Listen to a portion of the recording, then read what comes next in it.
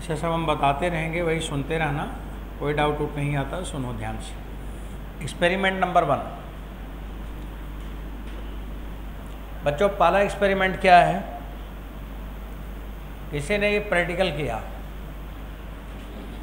और प्रैक्टिकल ये किया था, जिस इंसान ने प्रैक्टिकल किया, यही किया था जो बताने जा रहा हूँ।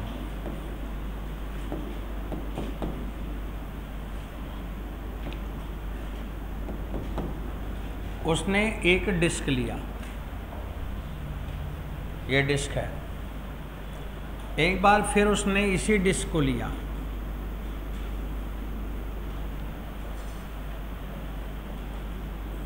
इसे डिस्क को लिया।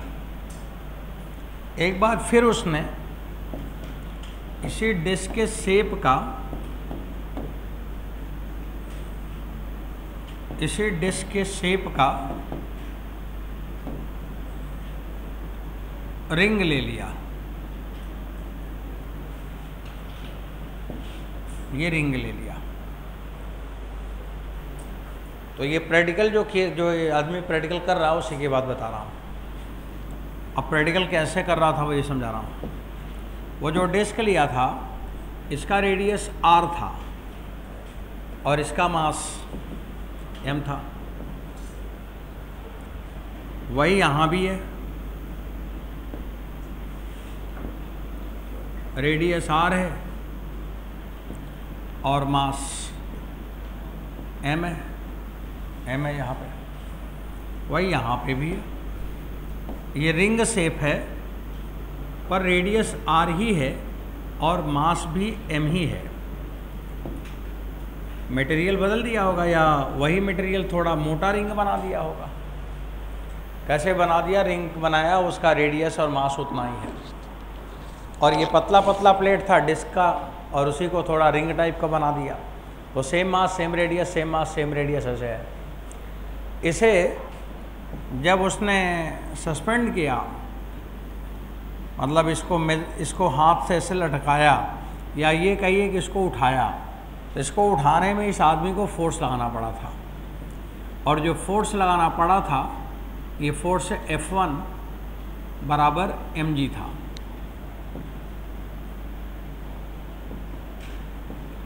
इसे हम एफ़ नाट कर देते हैं। एफ़ नाट बराबर ही एम जी था। इसके बाद वही सेम बॉडी को अब लिक्विड सरफेस पे रखा गया। कहाँ रखा गया? लिक्विड सरफेस पे। और इस लिक्विड सरफेस पे रखकर इसे पुल किया गया।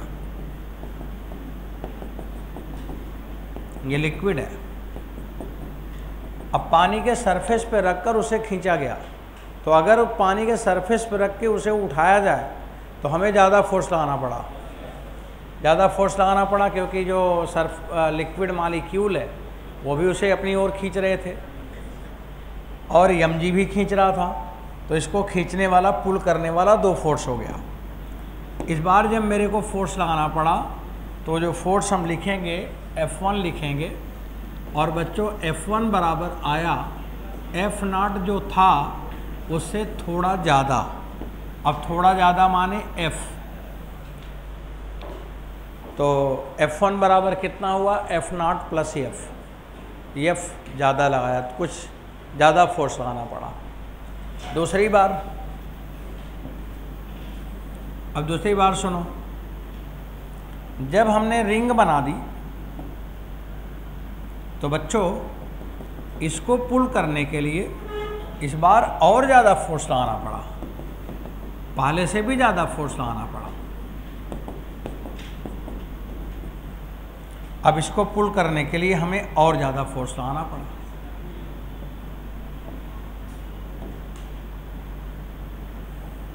इसको खींचना था। ये आदमी ने फोर्स लगा दिया।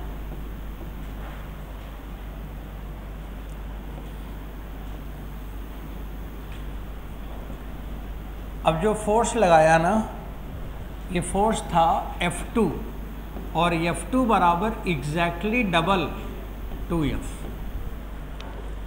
देखो इसमें ये एक्सपेरिमेंट लोगों ने किया। अब इस एक्सपेरिमेंट करने के बाद मान लो आप ही प्रैक्टिकल करते तो आपके दिमाग में कुछ तो आ ही जाता।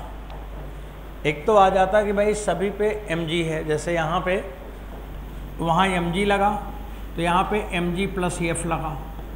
यहाँ पे M G plus two F लगा। मतलब यहाँ पे कौन सा चीज़ डबल हुआ है इसका? कौन सा चीज़ इस इस जगह का वहाँ डबल हुआ है? तो वहाँ पे जो लेंथ है, ये टू पाई आर है। और यहाँ पे जो लेंथ होगा, जो लिक्विड कहाँ पे कांटेक्ट में है तो लिक्विड एक अंदर कांटेक्ट में है और लिक्विड एक बाहर कांटेक्ट में है और इसमें लिक्विड केवल बाहर कांटेक्ट में है। तो लिक्विड का कांटेक्ट लेंथ यहाँ पे जितना है, उसका ठीक डबल यहाँ पे है। तो डबल तो यही है। और उसी की वजह से लगता है कि डबल फोर्स भी हुआ है। तो लोगों ने कहा, हो न हो, ये जो फोर्स बढ़ा, वो उसी लिए बढ़ा कि जो कांटेक्ट लेंथ बढ़ा। तो जितना ज़्यादा कांटेक्ट लेंथ उतना ज़्यादा फोर्स लग रहा है। तब ये जो फोर्स आया, जो यफ है, वो ये फोर्स किसके कारण आया? ड्यू टू कॉन्टैक्ट लेंथ तो जो एक्सेस फोर्स हुआ, वो किसके कारण आया? ड्यू टू कॉन्टैक्ट लेंथ यहाँ पे जो कॉन्टैक्ट लेंथ है एल कॉन्टैक्ट बराबर टू एल है। यहाँ पे एल बराबर टू पाई आर तो यहाँ पे कितना है? टू एल है। और जब कॉन्ट्रैक्ट लेंथ टू एल है तो फोर्स भी क्या हुआ? टू एफ़ हुआ। तो बच्चों, इसका मतलब एफ़ किस पे डिपेंड कर रहा है? आइडिया लगाओ कॉन्ट्रैक्ट लेंथ पर। यही लोगों को समझ आया। तब उन लोगों ने लिखा कि जो एक्सेस फोर्स है force F proportional to L proportional to L जब एल तो एफ़ टू एल तो टू एफ़ अब लिखा गया एफ़ बराबर proportionality constant T L proportionality constant में टी लिख दिया, बोला टी माने टेंशन सरफेस टेंशन से आ रहा तो लिख दो टेंशन तो इसलिए टी लिख दिया. अब हम यहाँ पे लिखेंगे एफ़ बराबर टी इंटू एल की जगह क्या लिखोगे? एल इफ़ेक्टिव ये एल इफ़ेक्टिव है। एल इफ़ेक्टिव हुआ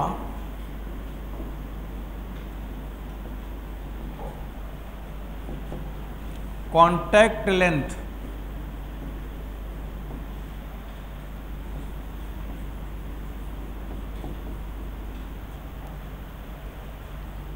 of liquid air interface liquid air interface मतलब लिक्विड और एयर जहाँ पे मिले हों। तो लिक्विड एयर इंटरफेस। तो लिक्विड एयर इंटरफेस का जो लेंथ है, उसी को कॉन्ट्रेक्ट लेंथ बोला गया। लिक्विड एयर इंटरफेस क्या हुआ सुन लो। देखो, यहाँ पे ये लिक्विड है और लिक्विड के बाहर क्या है? एयर है। तो लिक्विड एयर इंटरफेस हो गया। ऐसे यहाँ पर भी लिक्विड के बाहर एयर और यहाँ पे लिक्विड के अंदर एयर तो एक लिक्विड है, उसके ऊपर क्या है? एयर है। मतलब ये कहने का मतलब कि फ्री सरफेस कितना है? एयर में जो लिक्विड होगा, उसे हम क्या कहेंगे? फ्री सरफेस उसी को यहाँ पे टेक्निकल नाम हम लोग लिखते हैं। लिक्विड एयर इंटरफेस लिखते हैं। तो वो कॉन्ट्रैक्ट लेंथ ही किताब में लिखा है। तो कॉन्ट्रैक्ट लेंथ का मतलब वो हुआ लिक्विड एयर इंटरफेस तो बच्चों, ये अब बराबर टी इंटू एल इफ़ेक्टिव आ गया। अब अगर इसका यूनिट निकाला जाए unit of surface tension T unit of surface tension T तो इसका यूनिट क्या लिखोगे? बोलो, न्यूटन पर मीटर। एक बार पेपर में पूछा गया है कि सरफेस टेंशन किसके इक्विवेलेंट है? डायमेंशन में या यूनिट में? तो फोर्स कांस्टेंट तो के एफ़ बराबर के एक्स तो के में भी आता है एफ़ बाई एक्स और सरफेस टेंशन में भी आता है एफ़ बाई एल तो इसका मतलब ये स्प्रिंग कांस्टेंट जैसा है। सरफेस टेंशन स्प्रिंग कांस्टेंट जैसा है।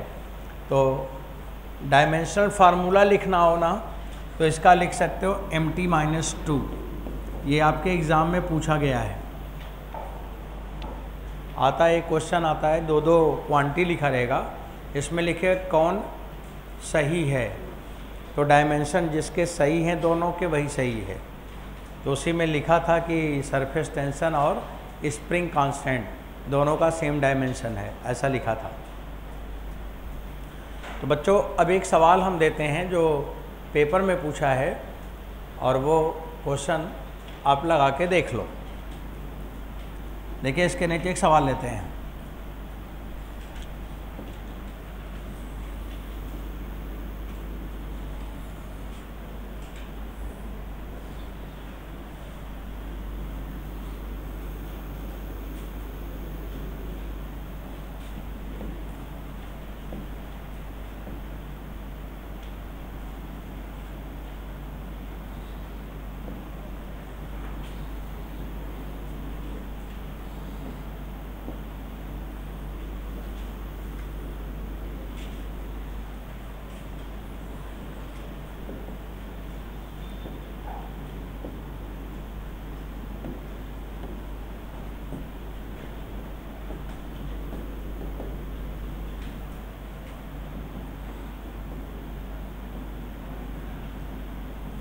देखो ये कोई वायर फ्रेम है। बच्चों, ये कोई, हम लोग वायर का, तार का कोई एक फ्रेम बनाते हैं। बना रहा हूँ।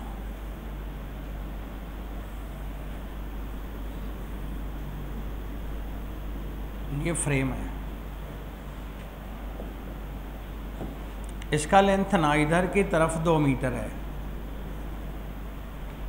और इधर की तरफ़ एक मीटर है, नहीं, तीन मीटर है थ्री मीटर है। इधर थ्री मीटर है। और इसको मैंने लिक्विड सरफेस पे रखा है। और एक लोग आते हैं, इसको खींच के ले जाएँगे अपने घर मतलब इसको उठाएँगे।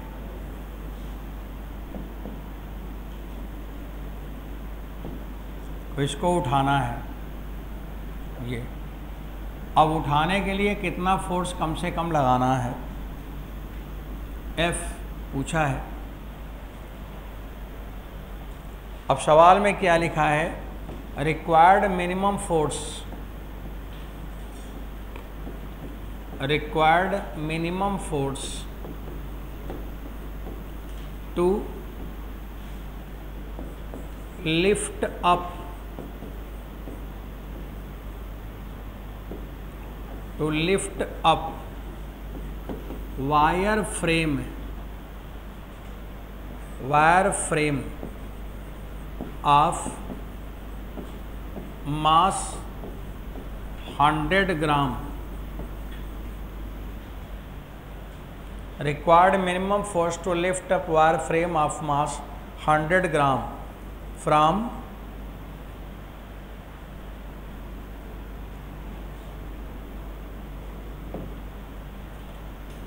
from liquid surface तो लिखा है required minimum force to lift up wire frame of mass 100 gram from liquid surface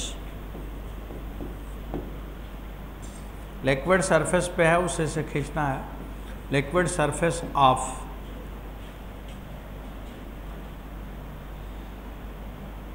surface tension of surface tension 10 to power minus two newton पर मीटर जी की वैल्यू 10 ले सकते हैं आप। बच्चों, ये सवाल का आंसर देना। आ गया होगा हाँ आंसर आ गया होगा।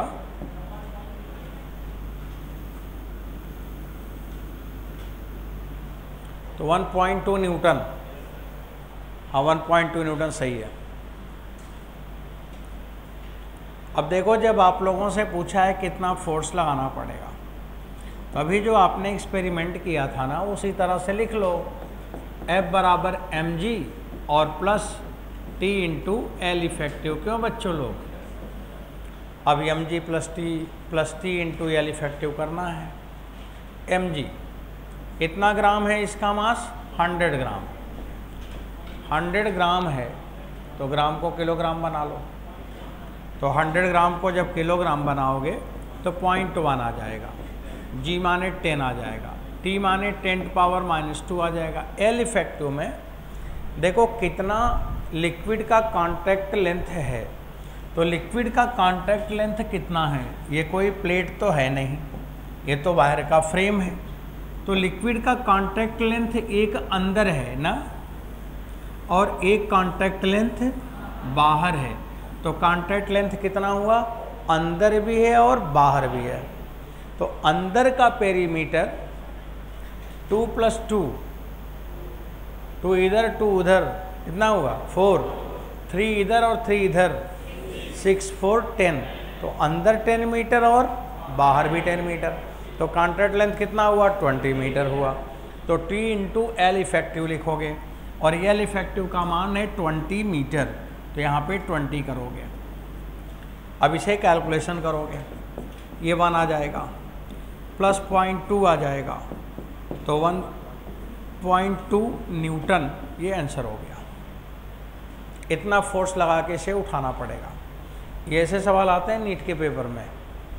एकदम बिल्कुल सरफेस के क्वेश्चन होते हैं सरफेस टेंशन में। और जो पढ़े रहते हैं बच्चे, उनको फ्री का सवाल मिल जाता है। तो प्रॉपर्टी ऑफ़ लिक्विड से आपको क्वेश्चन आएँगे और यही सब आएँगे जो आप पढ़ रहे हैं इस समय। इसी में इसको एक सवाल रहेगा। अलग से क्वेश्चन देखना है ना, पढ़ना है। कभी कुछ नहीं देखना, जितना बताऊँ उतना ही सुनो बस। वही सवाल हो, वही आता है। अब एक तो काम ये हो गया। अब दूसरा एक और आर्टिकल डिस्कस करेंगे, उसको देखें आप।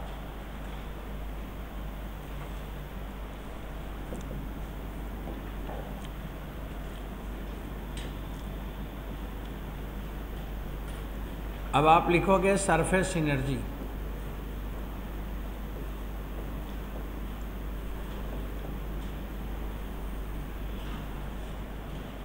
अब हम लोग पढ़ेंगे सरफेस एनर्जी सरफेस एनर्जी यहीं आता है. कहीं भी सरफेस एनर्जी आएगा तो यहीं आता है. कहीं पे सेल्फ एनर्जी आ रहा है तो यहाँ पे सरफेस एनर्जी आता है. सरफेस एनर्जी भी पोटेंशियल एनर्जी है. सेल्फ एनर्जी भी पोटेंशियल एनर्जी जैसा है। अब पोटेंशियल एनर्जी पोटेंशियल एनर्जी है ही है।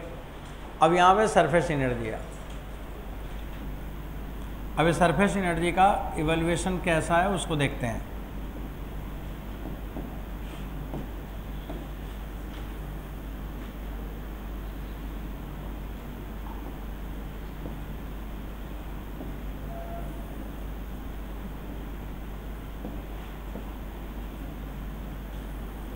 देखिए।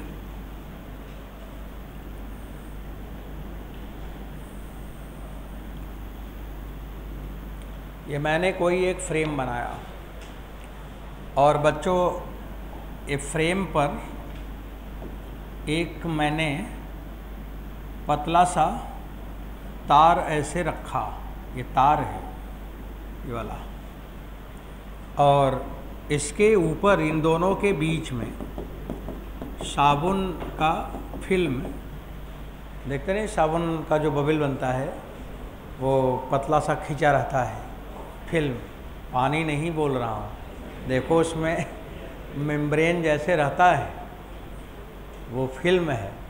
सब इमेजिन कर पा रहे हैं? हाँ नहीं कर पा रहे तो भाई साबुन खोल के देखना जाके। तो उसमें एक मेम्ब्रेन जैसे हो, जैसे बैलून होता है। उसी तरह से वो भी बैलून जैसा बना रहता है। तो उसी को बोलते हैं फ़िल्म। वो एक स्ट्रिप जैसी होगी। तो ये फ़िल्म है। अब इसके बीच में फ़िल्म है। तो आ, इसके बीच में कौन सा फोर्स लगेगा? Intermolecular force.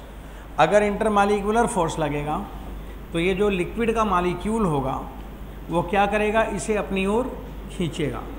तो लिक्विड का मालिक्यूल अपनी ओर खींच रहा है। और ये जो फोर्स लगा रहा है, वो कौन लगा रहा? लिक्विड मालिक्यूल माने सरफेस टेंशन वाला जो फोर्स है इंटर मालिकुलर फोर्स है, कह सकते हैं आप ये इंटर मालिकुलर फोर्स है। अब अपनी ओर खींच रहा है। तो फिर हम क्या करेंगे? देखेंगे।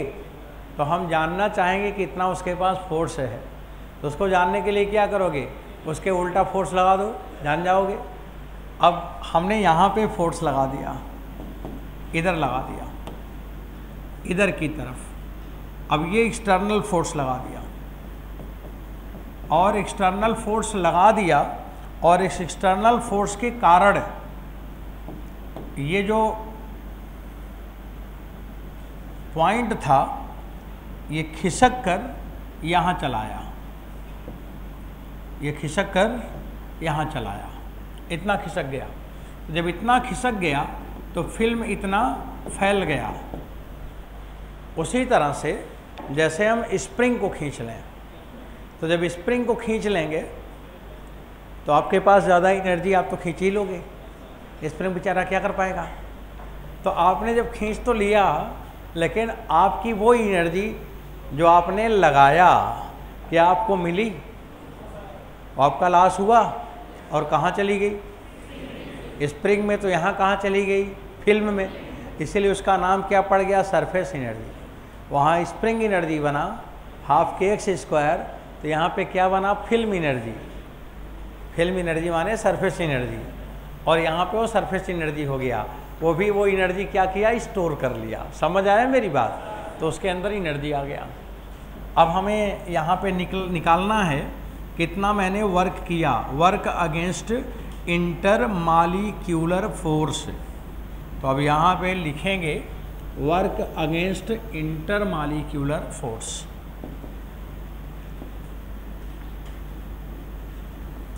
work against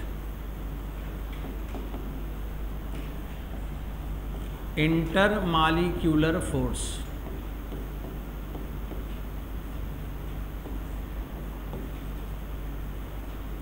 अब ये जो मालिकुलर फोर्स है कंजर्वेटिव फोर्स है।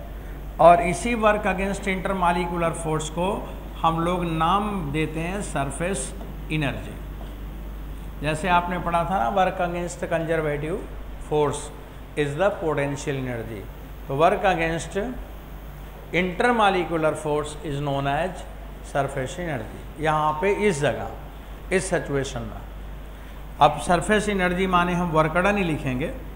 बच्चों, वर्कडन अगर आपको लिखना है तो वर्कडन का फार्मूला क्या हुआ? Force into displacement F X अब ये जो दूरी है, ये इतना डिस्प्लेस हुआ है। कितना? एक्स यहाँ देखो एक्स ऐसे लगा देना। देखा क्या लिखा है? ये लिक्विड यहाँ से यहाँ आया। तो आपने क्या किया? फ़िल्म मेम्ब्रेन को एक्सपैंड कर दिया।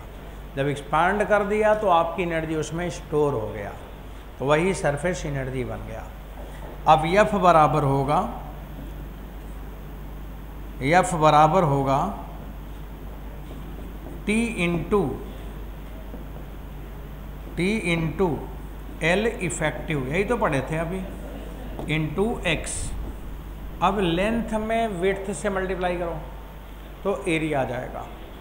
तो यहाँ पे आप लिखोगे टी इंटू टी इंटू, कौन सा एरिया लिखोगे? पूरा एरिया नहीं, ये वाइट वाला एरिया लिखोगे।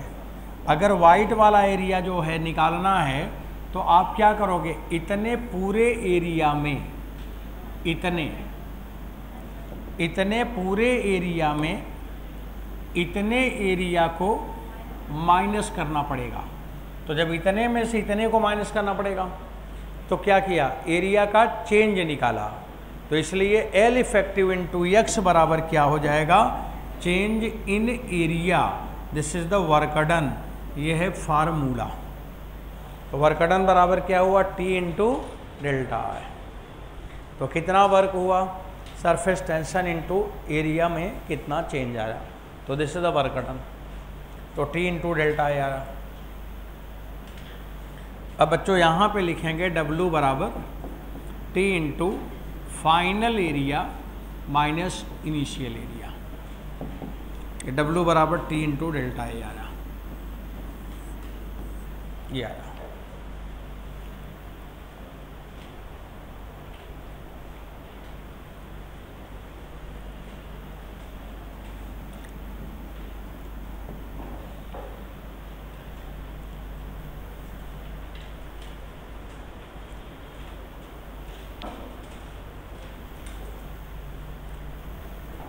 अब देखो इसको, इस पर सवाल लेने, मेरे को क्वेश्चन लेके कुछ एग्ज़ाम्पल आपको दिखाते हैं। और उसे ध्यान से समझना। नोट हो गया। आप इसका यूज़ कैसे करेंगे वो ज़रा एक्सप्लेन करता हूँ।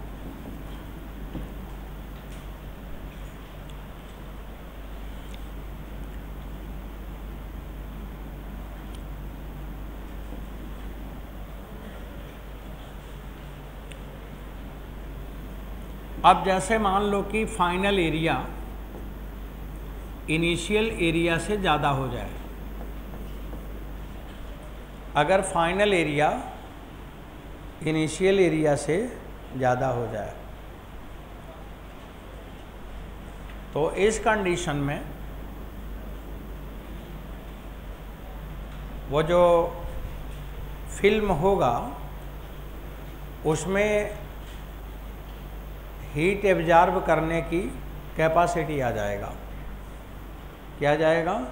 हीट एब्जॉर्ब करने की कैपेसिटी आ जाएगा। और A F greater than A I हो जाए तो इसका मतलब ये हुआ कि वो हीट को एब्जॉर्ब करेगा। अब अगर कोई चीज़ हीट को एब्जॉर्ब करे तो फिर वहाँ पे हीटिंग होगा कि कूलिंग होगा? लिक्विड में नहीं। जिस बॉडी से हीट निकलेगा उसमें क्या होगा? कूलिंग होगा। उसका एग्ज़ाम्पल जैसे मान लो जब आप अभी आ, होली ख़त्म हुआ है होली क्यों मनाया जाता है? यही समझाने के लिए। उसमें पिचकारी का काम क्या है? पिचकारी से क्या होता है? पानी को तोड़ के फैलाया जाता है। पिचकारी क्या करता है? पानी को वो क्या करता है? फैलाता है। हा? पिचकारी से पूरा आदमी को भिगो दिया जाता है। थोड़े से रंग से पूरा भिगो दिया जाता है। तो उस पिचकारी का काम क्या है? पानी को तोड़ना और उसका सरफेस एरिया को बड़ा करना। तो जब सरफेस एरिया को बड़ा कर दिया तो फाइनल एरिया ज़्यादा हो गया। जब फाइनल एरिया ज़्यादा हुआ तो जिस आदमी के ऊपर वो पड़ा तो उसको क्या लगा? ठंडा लगा। उसको क्या लगता है? ठंडा लगता है। तो आदमी इसलिए नहीं भागता कि उसके ऊपर रंग पड़ जाएगा, इसलिए वो भागता है कि वो ठंडी से कांपने लगेगा। ये पिचकारी का खेल है। तो पिचकारी का खेल समझ गए क्या है? तो तो जब उसके ऊपर वो पानी पड़ेगा तो उसकी फ़िल्म बनेगी। फ़िल्म बनेगी, एरिया ज़्यादा हो जाएगा। तो जब एरिया ज़्यादा हो जाएगा तो उस बॉडी से हीट को निकालेगा। तो उस आदमी को क्या लगेगा? ठंड लगेगा, कांपने लगेगा। इसीलिए जब जिसको ज़्यादा बुखार हो जाता है तो उसके शरीर पर पोछा लगाया जाता है। हाँ? पोछा लगाते हैं ना, वो डॉक्टर कहते हैं कि पानी, पहले पानी से भिगो लो कपड़ा, इसके बाद उसको थोड़ा पानी निचोड़ लो। हल्का पानी रहे तो उसके ऊपर ऐसे लगाओ तो पानी पोछा तो ऐसे लगता है। हाँ? तो उसके ऊपर क्या करते हैं कि पानी का एक फ़िल्म बनाते हैं। तो फ़िल्म बनाते हैं तो फ़िल्म क्या करता है? उसकी बॉडी से हीट तेज़ी से खींचता है, इसलिए उस आदमी को थोड़ा रिलीफ मिलता है। नहीं तो इतना टेम्परेचर बॉडी का बढ़ेगा कि उसका जो ब्रेन की नर्व हैं, वो फट जाएँगी। ब्रेन हैमरेज हो जाएगा। उल्टे पुल्टे बकने लगेगा, पागल हो जाएगा। इसलिए डॉक्टर बोलता है कि इसका टेम्परेचर बढ़ने मत देना। और उसके लिए हम लोग क्या करते हैं? फ़िल्म बनाते हैं। इसलिए जब आप नहा लेते हैं और अगर शरीर को ना पोछे तो थोड़ी देर बाद ठंड से थर थर थर थर कांपने लगेंगे। क्योंकि वहाँ भी यही घटना हो रहा है कि जहाँ भी फ़िल्म बनेगा, एरिया बढ़ेगा तो हीट एब्जॉर्व करने की कैपेसिटी बढ़ जाएगा। वो जो बाल बनवाने जाते हैं तो मुँह पे स्प्रे करता है। तो देखो, फिर पूरा आदमी ठंडी से काँप जाता है। तो समझ गए ना ये सब कहानी? चलो, अब यही सब बताना था। अब एक सवाल लगाना इसी पे। अब A F greater than A I सवाल लिखिए। Required work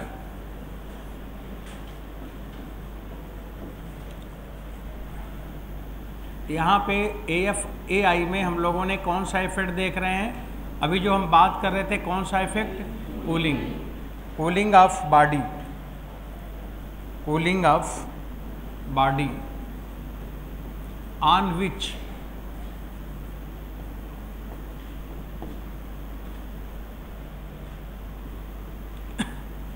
liquid spray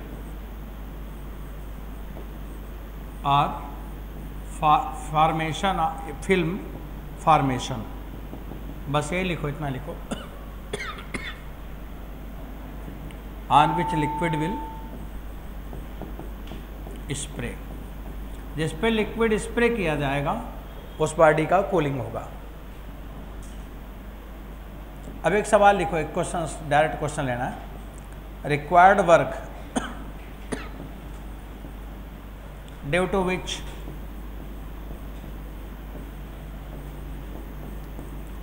drop of radius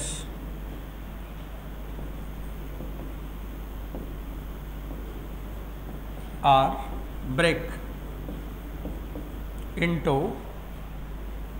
into small n identical droplets small n identical droplets droplets bracket में लिख लेना surface tension T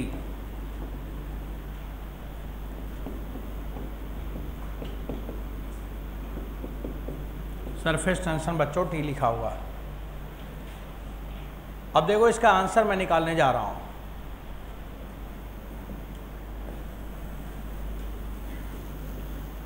इसमें क्वेश्चन में क्या लिखा है कि एक ड्रॉप है और उसको आपने छोटे छोटे ड्रॉप में ब्रेक कर दिया। जैसे देखो, एक ड्रॉप है, समझ लो तब लिखो। अब थोड़ा सा रुक जाओ। ये ड्रॉप है, इसका रेडियस आर है। आर है। इसको आपने छोटे छोटे ड्रॉपलेट्स में ऐसे तोड़ दिया। बहुत सारे ड्रॉपलेट्स हो गए। ये बहुत हैं। ऐसे ब्रेक हो गया। यही तो होता है ना इसमें। यही हुआ। क्वेंचिंग ब्रेक कर दिया। अब हम लोग यहाँ पे क्या लिखेंगे?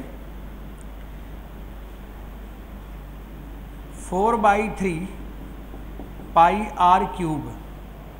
ये बड़ा वाला। बराबर N into four by three pi R cube. तो इसे जब सिंप्लीफाई करोगे तो स्मॉल आर बराबर आ जाएगा। R upon N power one by three. तो जो छोटे वाले ड्रॉप है ना, उनका रेडियस ये स्मॉल आर आ जाएगा। अब बच्चों, वर्कडन लिखोगे। वर्कडन बराबर फार्मूला डायरेक्ट बताना चाहिए आपको। T into delta A.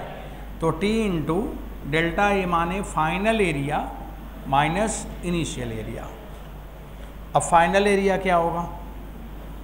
N into four pi R square मतलब एक ड्रॉप प्लेट होता तो four pi R square N है तो N into four pi R square initial में क्या है? फोर पाई आर स्क्वायर बच्चों, समझ नहीं आ रहा क्या? जहाँ नहीं समझ आएगा ना तो एक्सप्लेन करा लेना पेपर में यही सब आएगा। और इसमें कुछ है नहीं, बहुत पुरानी फिजिक्स है ये। इतना ही बना है, इतना ही पूछे जाते हैं तब से, जब से बना था। आर स्क्वायर इसको जब रखोगे तो N power two by three आ जाएगा। Minus four pi R square आ जाएगा। अब आप लिखोगे T into four pi R square तो कॉमन ले लो। तो अंदर आ गया N power one by three minus one जैसे द वर्क डन इतना वर्क आपको करना पड़ेगा। अब कितने ड्रॉप लेट्स बनेंगे, उसी से आप कैलकुलेशन कर लेना। बच्चों, जितना ज़्यादा ड्रॉपलेट बनेगा, उतना ज़्यादा आपको वर्क करना पड़ा। तो रिक्वायर्ड वर्क हो गया। समझ आया तो ये वर्क इतना वर्क हुआ।